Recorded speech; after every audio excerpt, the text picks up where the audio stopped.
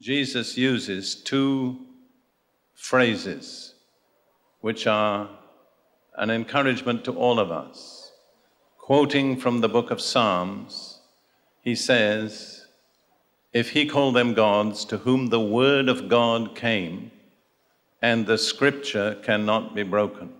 So, in that one verse, John 10 35, Jesus chose to use the two titles for the Bible which most of his people have used ever since the Word of God and the Scripture.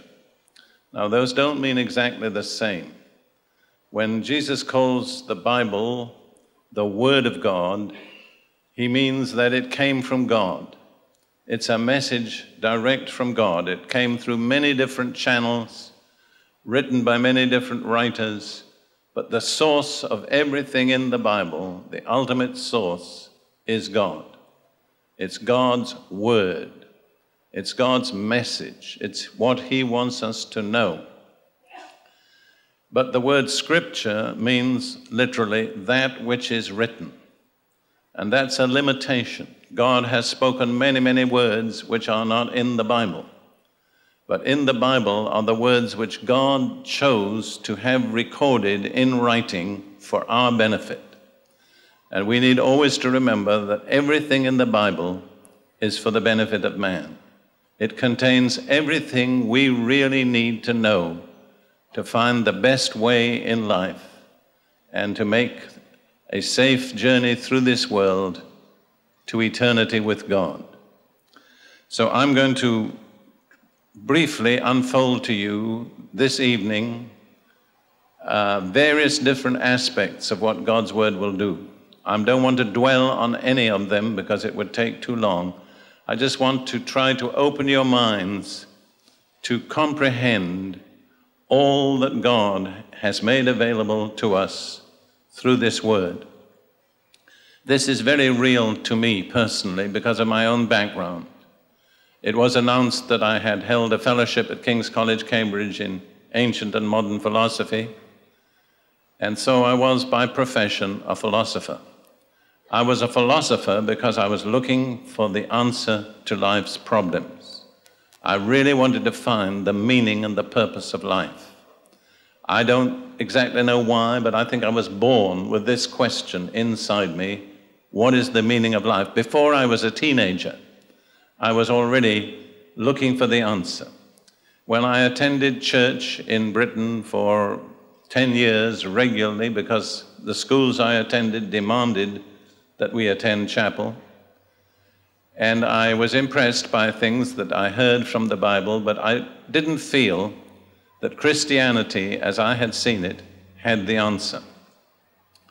So when I went to Cambridge University, and I no longer had to go to chapel every day, I decided that I'd done all my church going in my early years, and I was glad to be, that it was all over with, and I was going to look for the meaning of life somewhere else. And the natural place for me to look seemed to be philosophy. So I became a student, a research student, and eventually a professor of philosophy. I was very successful in my academic career, but I hadn't found the answer. And then World War II broke out, and I realized I was going to be called up into the British Army, and I was, who knows where I would end up. And in the army, you can't carry a lot of baggage with you. You have to carry everything in one long, round black bag, which is called a kit bag. So, my big problem, which was not the problem of most soldiers, but my problem was what will I take with me to read? And I eventually decided there's one book in the world that's more widely read, more influential in human history than any other book. And it's a sort of book of philosophy. And I said to myself, I don't know much about what's in that book. You know the book I had in mind? The Bible. And my estimate was absolutely correct. Without any question, it is the most influential book in all human history. I question whether anybody can claim to be called educated who really doesn't know anything about the Bible. So I bought myself a nice new black Bible. I had to, I couldn't believe a Bible would be any other color but black. That was a, my picture of religion was basically black. And uh, I said, How do you read the Bible? So I said, You start at the beginning and read it through to the end. So my first night in the army, I started at Genesis chapter 1, verse 1, and began to read. When I created quite a stir in the barrack room, there were 24 other new soldiers there, and when they saw me reading the Bible, they all began to whisper. I mean, uh, they were kind of embarrassed. The problem was that when I was reading the when I was not reading the Bible, I didn't live the least bit like people who regularly read the Bible. Quite the opposite. I don't need to go into all my many sins, but they were very conspicuous. So there I was, reading the Bible, living in real ungodly life. And the Bible was the first book I came across I couldn't make head or tail of. I'd read all sorts of authors Greek, Latin, Russian, French, and I'd always had an idea well, this is what he says, this is where he's right, and this is where he's wrong. But the Bible, I didn't know what it was all about. I didn't know how to classify it. Was it poetry? Was it history? Was it mythology? Was it philosophy? It didn't seem to fit any one category. Well, after about nine months, the author of the Bible wonderfully revealed himself to me. One night in an army barrack room about midnight, the Lord Jesus Christ revealed himself to me in such a way that from that night to this, there are two things I have never doubted. One, that Jesus Christ is alive, and two, that the Bible is a true, relevant, up to date book. The moment I met Jesus, the Bible made total sense instantly. There wasn't a long period of struggle, it was from one day to the next.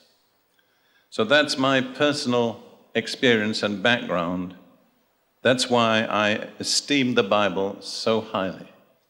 And in the years that have followed, nearly 50 years since that day, I've had the privilege of studying the Bible and sharing the Bible and teaching the Bible with thousands of people from many different racial and religious backgrounds, different cultures. And I found that the Bible is the only book I know that speaks to everybody in every nation, in every culture.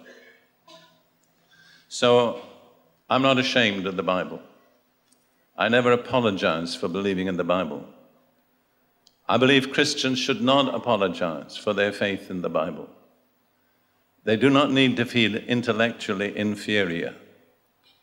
After all, I was a professional philosopher, and I'd studied all sorts of theories about the origin of man and the origin of the universe and all sorts of things. But I'd have to say, in my judgment, the Bible is the most logical book I've ever studied. Its logic is perfect. If you want an example of perfect logic, you should read the Epistle to the Romans. In my opinion, it's a masterpiece. No human pen has ever written anything that equals the logic and the perfection of Paul's epistle to the Romans. So if you are students or whatever you are, don't feel inferior for saying you believe the Bible. It's not a mark of inferiority, it's a mark of good sense. Now, let me begin with this theme of what the Bible will do for you. First of all, I'd like to give you some general statements about the Scripture. Psalm 33, verse 6 says this By the word of the Lord the heavens were made and all the host of them by the breath of his mouth. Now, where we have the word breath, the Hebrew word actually is spirit, because the picture is God's spirit coming with his word. As he spoke his word, his spirit came with it, just as when I speak a word, my breath goes with the word. And that tells us how the whole created universe came into being. It's not complicated. It came about by the word of the Lord and the spirit of his mouth. These are the two agents of God in all creation. If you read the record of creation in Genesis, you'll see how exactly that agrees. So, this is a staggering thought, but I want to impress it upon you. When you are reading your Bible and absorbing it and letting it do its work in you, all the creative power of Almighty God is at work in you. Because God used nothing but His Word and His Spirit to create the universe. And the same Word, the same Spirit are available to us when we read the Bible. So never set limits to what the Bible can do in your life.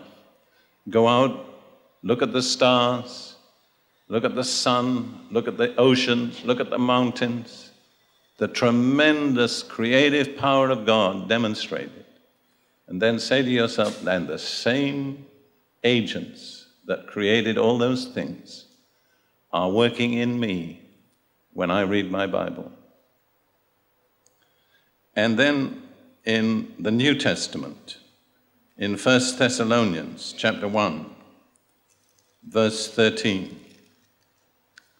Paul is writing to the church in Thessalonica, which was a young church that had recently been formed.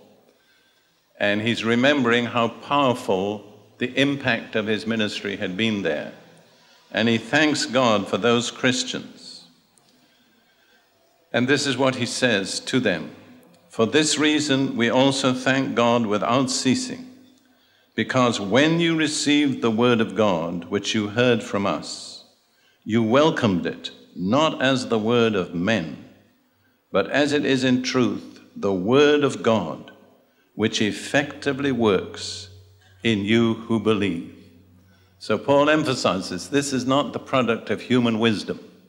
This is the Word of God. This is God speaking to us.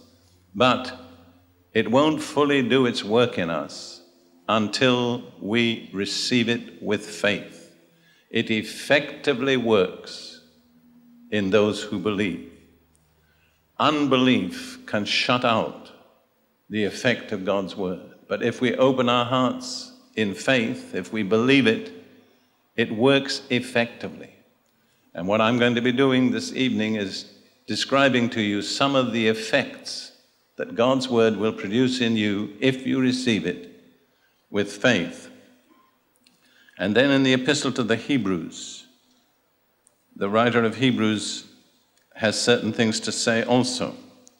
First of all, he speaks about God's people Israel in the Old Testament and uh, how they were brought out of Egypt supernaturally by mighty signs and wonders, but through unbelief, they never entered the land that God had promised to them.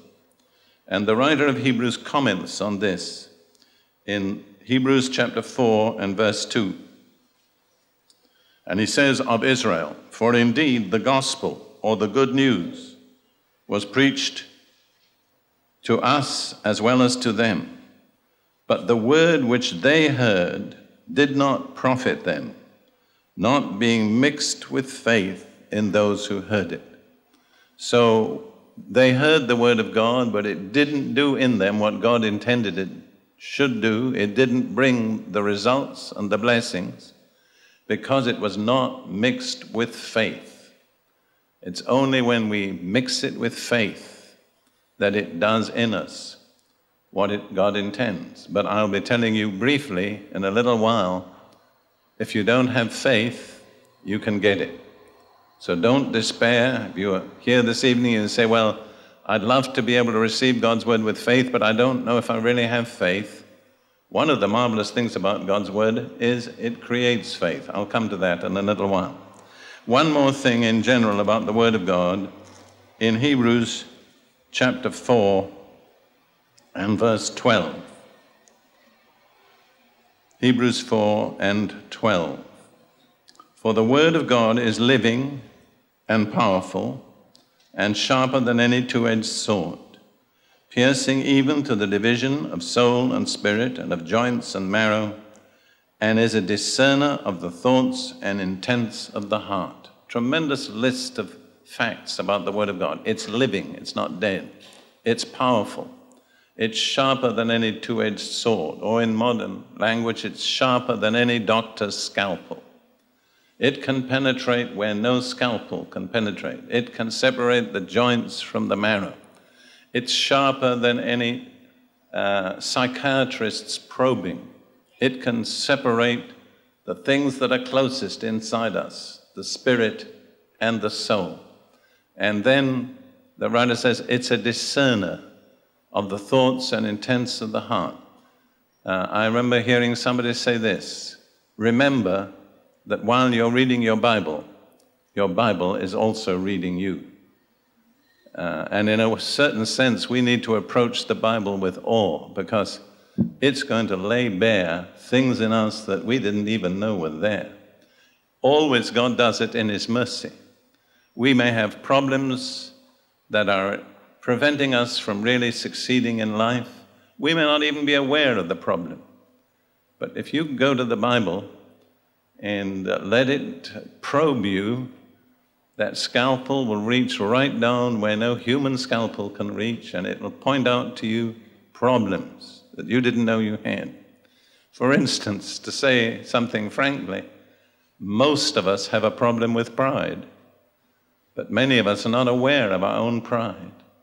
But you take time with the Bible, and sooner or later, you'll begin to discover that hidden root of pride in your life, which has to be dealt with before God can really do for you what He wants to do. Now, I want to speak about a number of specific results which the Bible produces. And I'm speaking out of the scripture, but in many cases, I'm also speaking out of personal experience. Very rarely do I preach theories. Nearly everything I preach arises out of things that I've experienced. And when God wants me to come into a new area, area of truth, I find that usually He gives me some experience. He leads me into some situation that confronts me with the truth. So, as I say, this is not theory that I'm passing on to you this evening. Uh, the first thing that I want to say about the Bible, I've already indirectly referred to, is if you don't have faith, you can get it. This is a key scripture in my own life Romans 10 and verse 17. Romans 10 17. So then, faith comes by hearing, and hearing by the word of God. How does faith come? By hearing. Hearing what? The Word of God. Now, I've studied that verse. Well, let me tell you why it's so real to me. After I had met the Lord and was baptized in the Holy Spirit, still in the British Army, I was sent to the Middle East. And I spent three years in the deserts of North Africa. During that period, I became sick with a condition that the doctors were not able to heal. So I actually spent one full year on end in hospital. And as I lay there in that hospital bed, I knew God. I had been baptized in the Spirit. I was reading my Bible. But I kept saying to myself, I know if I had faith, God would heal me. But the next thing I always said was, But I don't have faith. And when I said that, I was in what John Bunyan in Pilgrim's Progress calls the slough of despond, the long, deep, dark valley of despair. And I had no way to get out of the valley.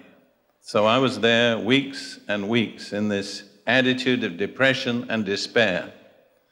And then a brilliant ray of light shone into the darkness and it came from Romans 10 17. So then, faith comes. And when I read the word comes, I said, That's it. If I don't have faith, I can get it because it comes. So nobody has to go on living without faith if they will meet the conditions. What are the conditions? Faith comes by hearing, hearing by the Word of God. Now I see two stages in that, and I'm speaking really from experience.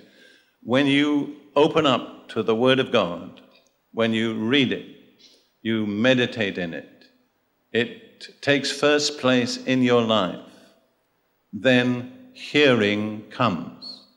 Now, hearing is a kind of attitude where you are shut in with God. Uh, other things are excluded. And if you continue in hearing, then faith comes. So it's a process, it doesn't happen instantly. First, there is the Word of God. You hear it, you give it your attention, you open your heart and mind to it, you expose yourself to it, and out of the hearing develops faith. You see, if you're just one of those people that read the Bible for five minutes a day, very probably very little faith will develop in your life because it takes time. But it's worth it. If I tell Christians in the West, and I don't know about this particular part of the world, although I think it might not be too much different, I say if you really want to become a spiritual giant, there are just two things you need to exchange in your life. Change them over. Of course, it's not true of everybody. But the two things you need to change over are the amount of time you spend with your Bible and the amount of time you spend in front of the television. Just change that, and you'll be surprised at the change that will come in your life.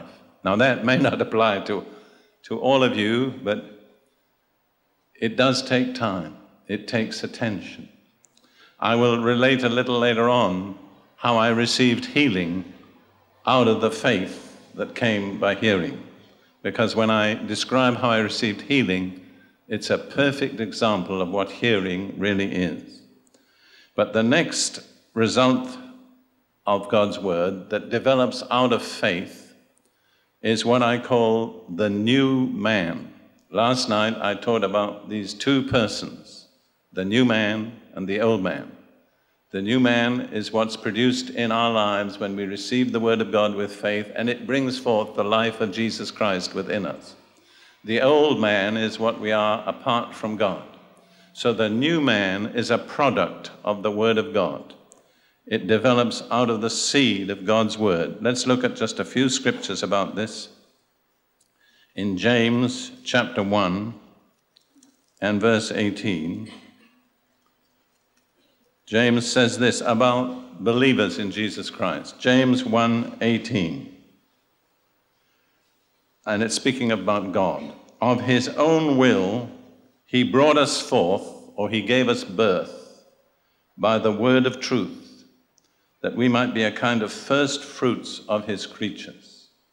You know that the new birth doesn't start with you. It starts with God. Of his will he brought us forth. He gave us birth by the word of truth which we received in our hearts.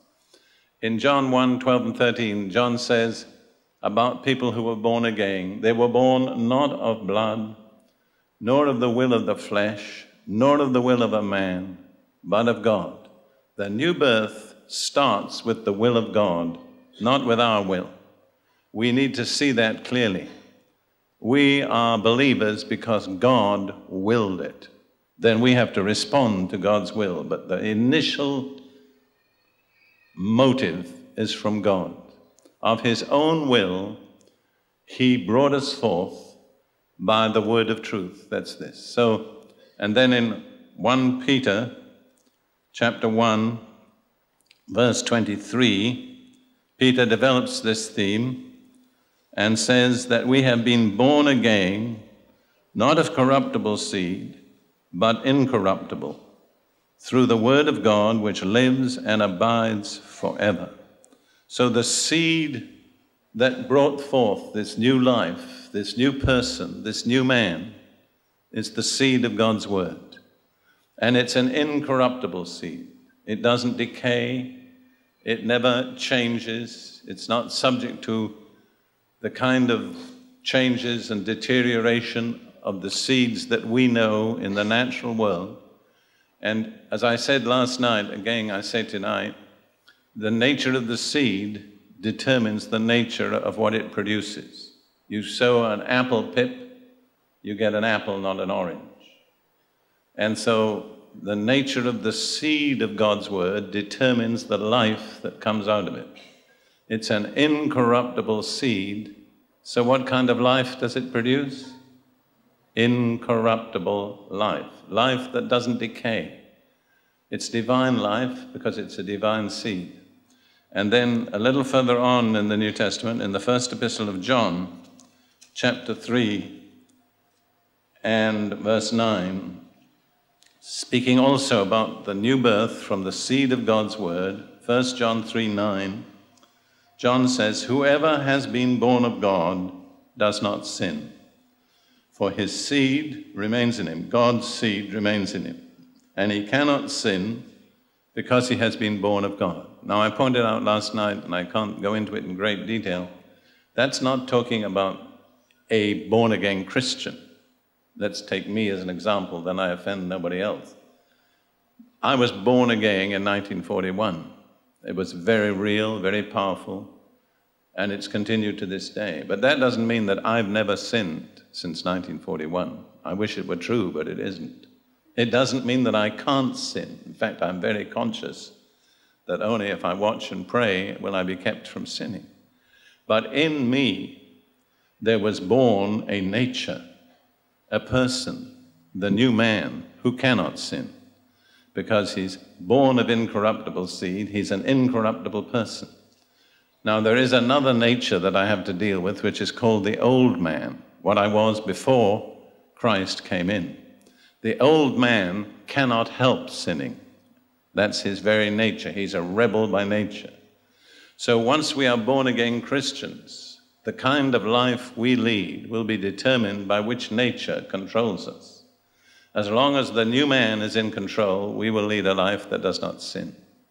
But whenever the old man comes back and begins to move in and take control, the inevitable result will be sin. But we need to know that there has been born in us from the seed of the Word of God an incorruptible nature, a nature that does not sin, a nature that is pure and holy. It's the very nature of God Himself imparted through the seed of God's word. It's that nature that makes us children of God. So that comes from the word of God. Now, once, eh, let's take it in the human level, once a little baby has been born into the human race, the first thing that it needs really is suitable nourishment. It may be a very healthy little baby, but if it doesn't get suitable nourishment, it will soon begin to pine and eventually will die. That is equally true of the born again Christian. Once you are born again, you have a new nature in you, a new person in you that's crying out for nourishment. You know, when babies don't get food, you know what they do? They cry. And there is something inside the born again Christian that starts to cry if it doesn't get fed. Now, the wonderful thing about the Word of God is not only is it the seed that brings forth the new life, but it's the food that nourishes the new life. And this is very uh, completely stated in the scripture. Uh, going back to 1 Peter, in the first chapter, he talks about being born again of incorruptible seed. Then in chapter 2, he goes on like this. And chapter 2 begins with a therefore. You may have heard me say, and if not, you're hearing me say now, when you find a therefore in the Bible, you need to find out what it's there for. And this, therefore, is because of the new birth, you see? Once you are born again, therefore laying aside all malice, all guile, hypocrisy, envy, and all evil speaking, as newborn babies, desire the pure milk of the word, that you may grow thereby. So, what's the nourishment for a newborn baby child of God? It's the pure milk of the Word of God. And if we don't provide born again Christians with that nourishment, in all probability, they'll lose the new life that they received. There is nothing more urgent once you have been born again than learning to feed regularly on the Word of God. And when you start out, it's milk. You couldn't give a baby bread, much less meat. It needs something easily digestible. And so, when Christians are born again, basically, you shouldn't turn them to the prophet Ezekiel or the book of Ecclesiastes. Now, some Christians maybe could flourish on that.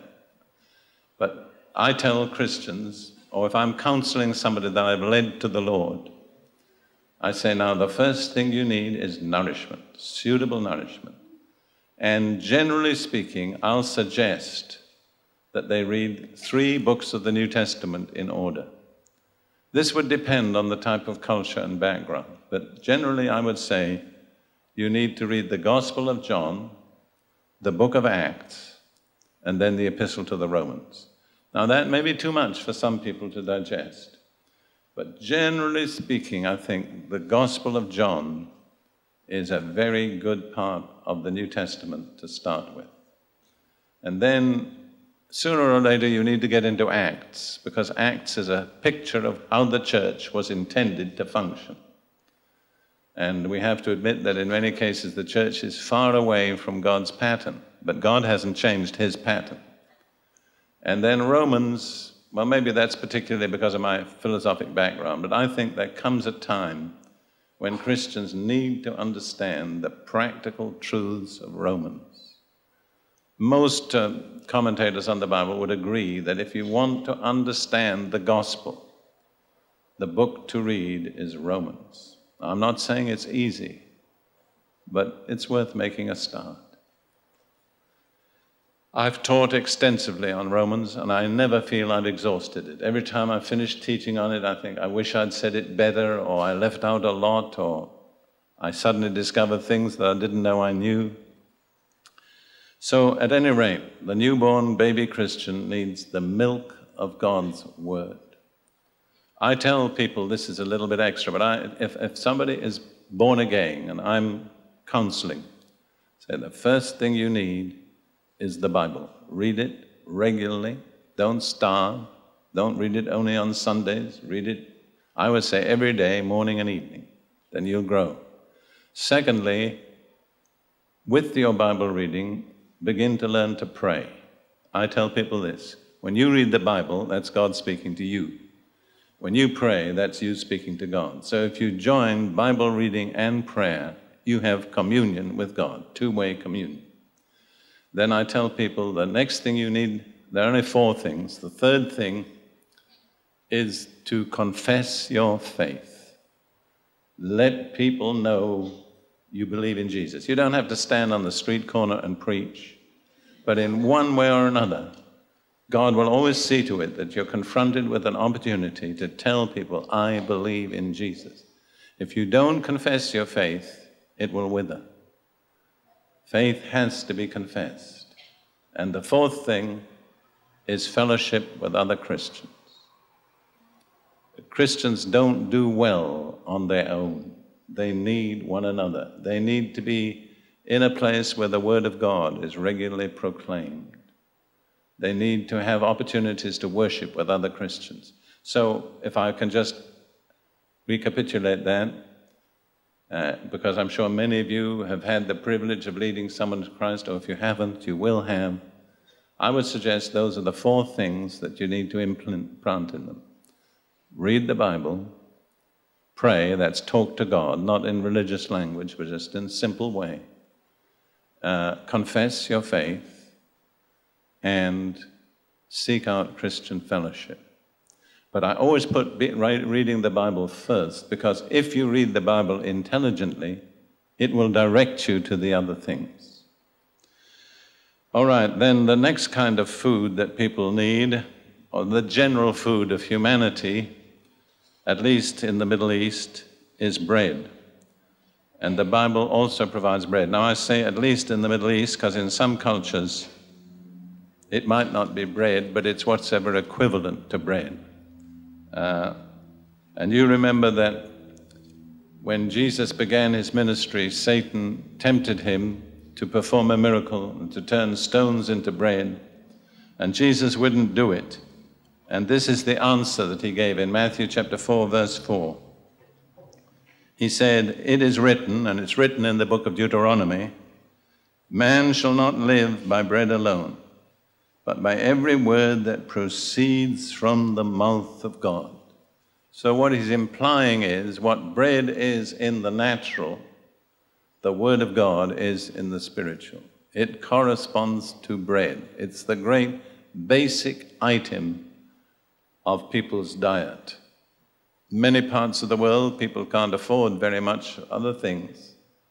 But normally, where bread is the staple diet, that will be the first item that they will seek.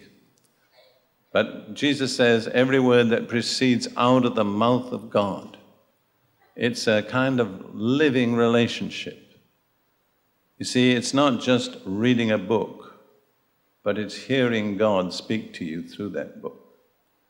And many of us could testify that God knows what we need to hear.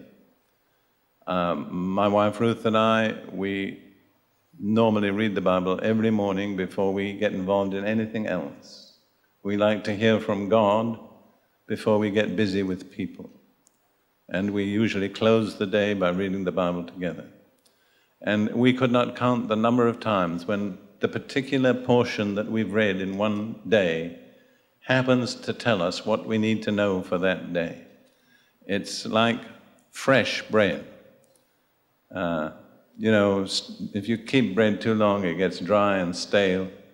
So don't let the Word of God get dry and stale. Live on fresh bread, bread that proceeds every day out of the mouth of God. And then there's one further stage of spiritual nourishment, which is what the Bible calls solid food. And in the Epistle to the Hebrews, the writer speaks about that. In Hebrews chapter 5, verses 12 through 14. Now, you need to understand that the Hebrews were Jewish believers in Jesus. And they had an advantage at that time over all other people because they had known the scriptures of the Old Testament for many, many generations.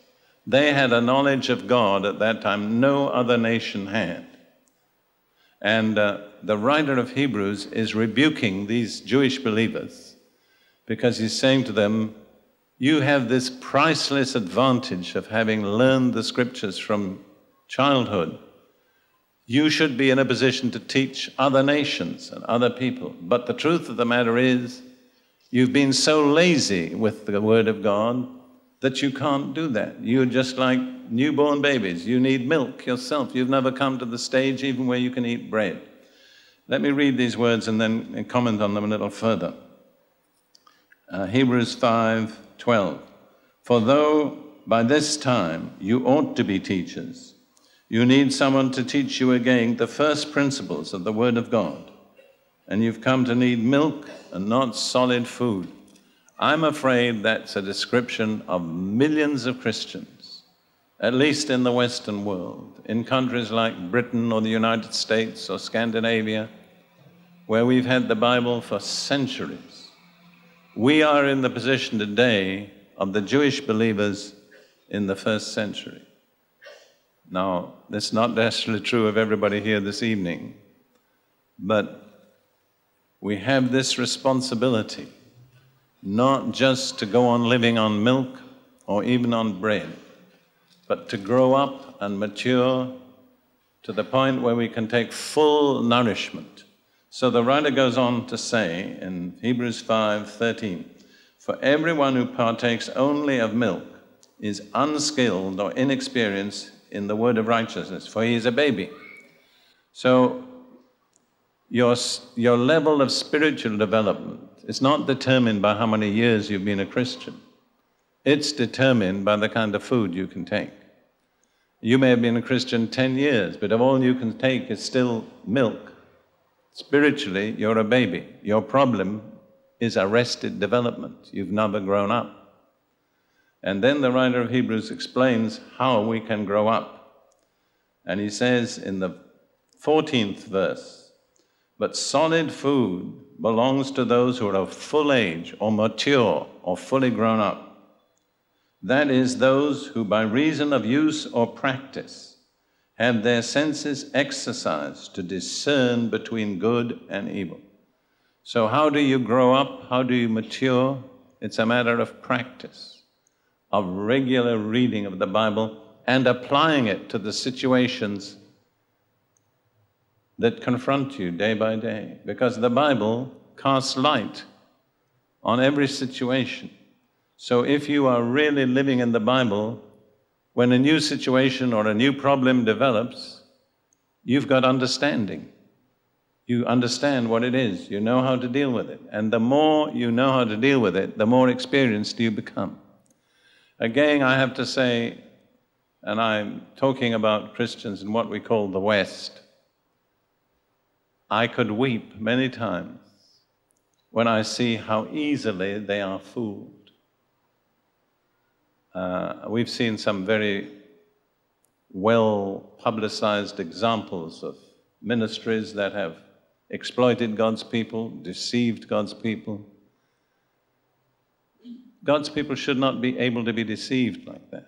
But the problem is they haven't their senses exercised to discern between good and evil. They just swallow everything. If the preacher shouts loud enough and makes enough noise, they think that must be God. I've discovered the Holy Spirit, I'm, I'm not against shouting. The Bible says to shout in many circumstances, but I've discovered the Holy Spirit doesn't beat people. If you are being pressured, stop and check. It probably isn't the Holy Spirit. I don't know what your attitude toward rock music is, but to me it's painful. I just don't want my senses impounded like that continually. I don't believe the Holy Spirit deals with us like that. Uh, if you see what I'm saying, you have to be sensitive. Cultivate sensitivity to the Holy Spirit. The more you move and live in the Word of God, the more discerning you will be. And then people will not be able to fool you and exploit you. See? It's absolutely essential for Christians to grow up. And the way to grow up is to develop to the point where you can take solid food. We must go on. The next effect of the Word of God that I want to mention is what I call mental illumination. Uh, we could take many passages, but I'll just take one verse from Psalm 119. Psalm 119. You know that's the longest psalm, don't you know that?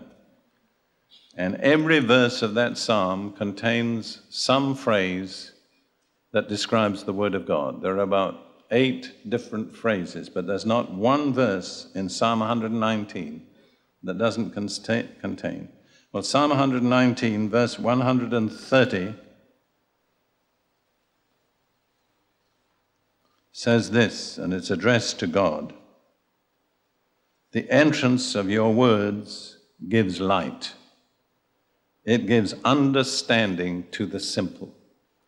Now, this is talking about what the Word of God does in the area of our minds. It gives light and understanding. Now, I was for five years principal of a college for training teachers for African schools in Kenya. And um, so I was confronted with this whole issue of how to educate people. And I continually pointed out to my students you can have education, but be a fool. Education is not wisdom. I'm not against education, it's important, it's necessary. My comment to my students used to be most of the trouble in the world is caused by educated fools. I think the more you ponder on that, the more you'll see how true it is. If they weren't educated, they wouldn't be able to cause so much trouble. There was an American president at the beginning of this century who was talking about people who steal things. And he said, if a man is not educated, he'll steal a railroad car, one car from a railroad. But if you educate the same man, he'll steal the whole railroad.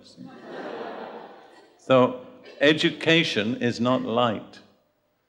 People, I know this because I was highly educated myself and in total darkness.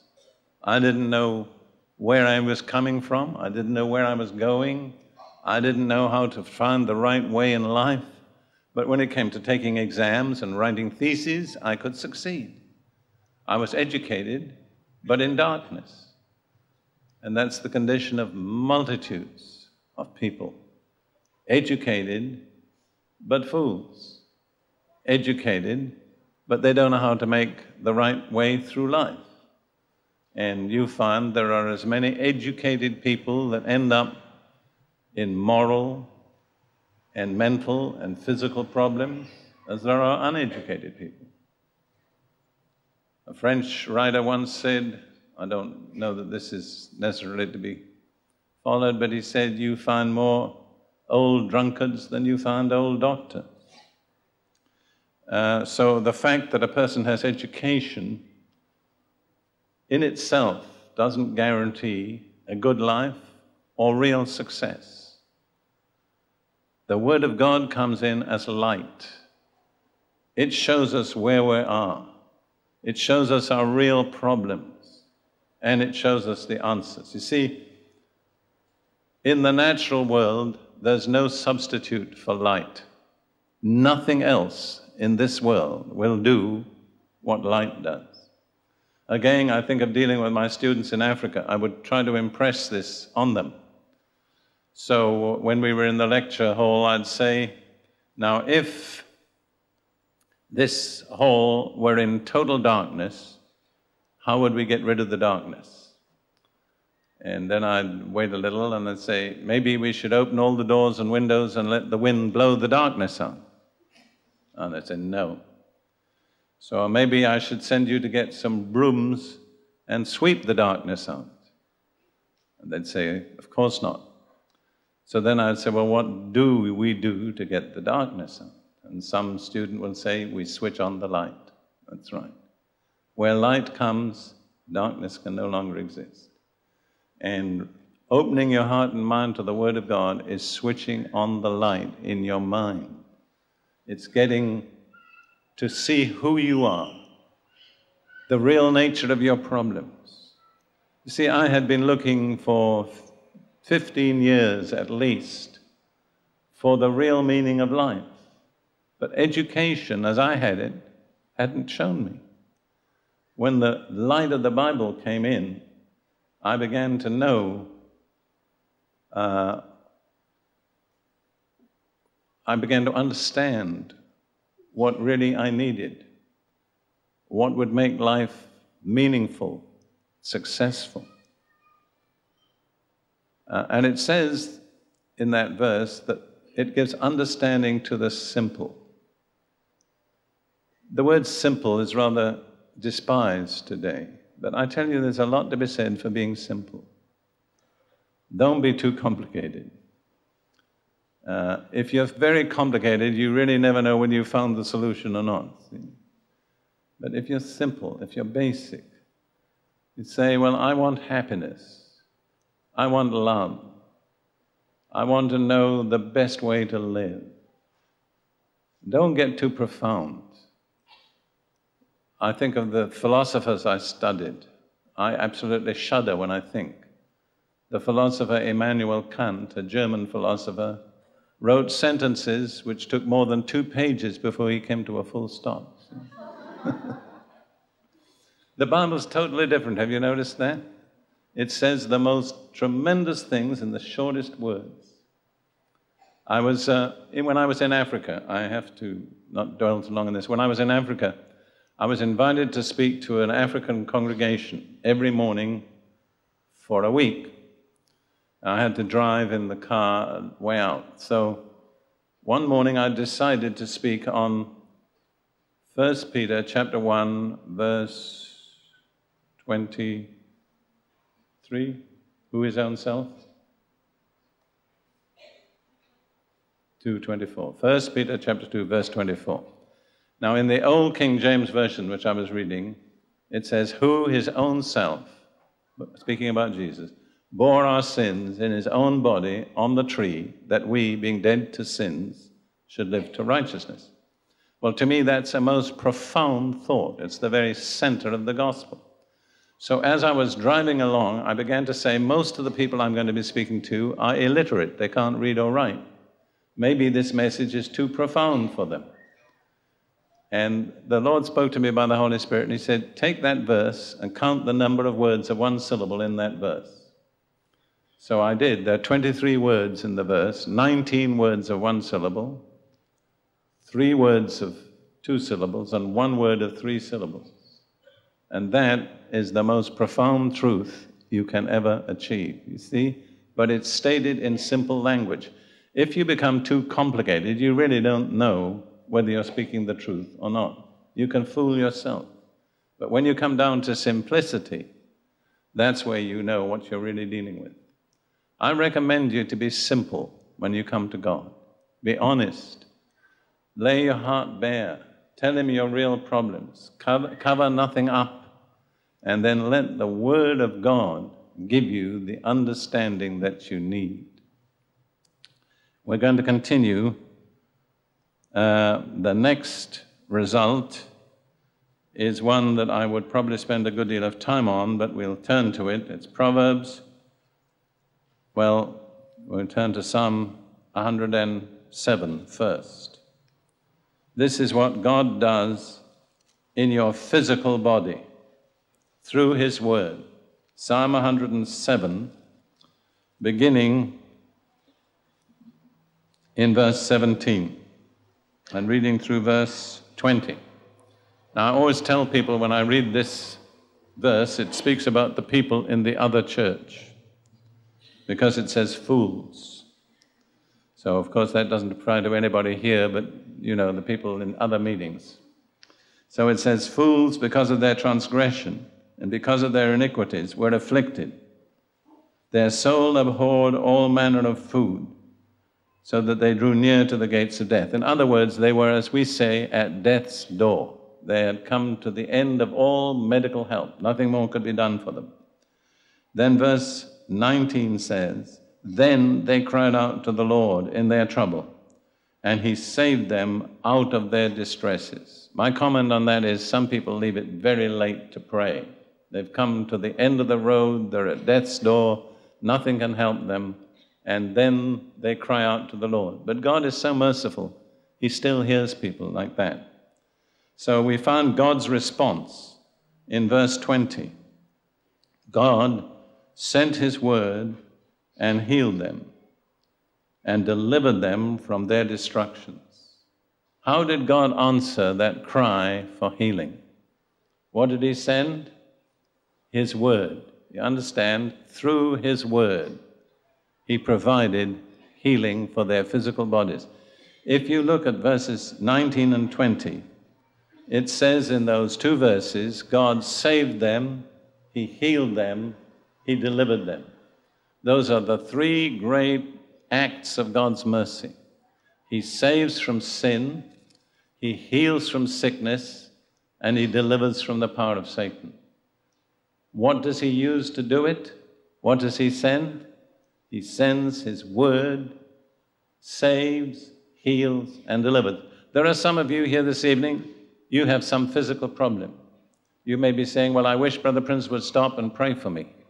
I want to tell you that God is visiting you right now. He's sending His word. If you can appropriate it, you can walk out of this meeting tonight healed because the word of God has come to you. Now, let me turn to the other great passage on physical healing, which is in Proverbs chapter 4, verse 20, 21, and 22. Proverbs 4, 20 through 22. My son, give attention to my words, incline your ear to my sayings. Do not let them depart from your eyes, keep them in the midst of your heart. Now, God is talking about his words and his sayings. And then he says in verse 22 For they, his words and his sayings, are life to those who find them and health to all their flesh. What does all their flesh mean? It means our whole physical body. So God says His words and His sayings, if we can find them, will bring life to us and health to our whole physical body. And the alternative reading in many Bibles for the word health is medicine. So God has provided medicine or health for our whole physical body, all our flesh. How has He provided it? Through His words and through His sayings. Now, this is the passage that got me out of hospital. After one year and end, when doctors had proved unable to provide a cure, studying the Bible for myself and reasoning, because I was a philosopher, I had special problems. See, every time I read about healing, I said, yes, but that only means the healing of my soul. God really isn't interested in my body. But when I got to Proverbs 4 22, when it said, health to all their flesh, I said to myself, not even a philosopher can make flesh mean soul or spirit. So I said, I'm going to take it that way. And then I decided I'd take it as my medicine. I was a medical orderly, so I knew about giving people medicine. So I said to myself, I'm going to take God's word as my medicine. And then I said, How do people take their medicine? The usual answer is three times daily after meals. now, this is an example of being simple, you understand? I could have been clever and stayed sick, but I was simple and I got healed. So I said, I'm going to take God's word as my medicine three times daily after meals. So after each main meal, I went away, got home by myself, opened my Bible, bowed my head, and said, God, you've said that these words of yours will be health to me or medicine to all my flesh. I'm taking them as my medicine now in the name of Jesus. I didn't receive a miracle. It was a very, the most unhealthy climate I could have been in, the Sudan. And in that unhealthy climate, God's word brought me perfect, permanent health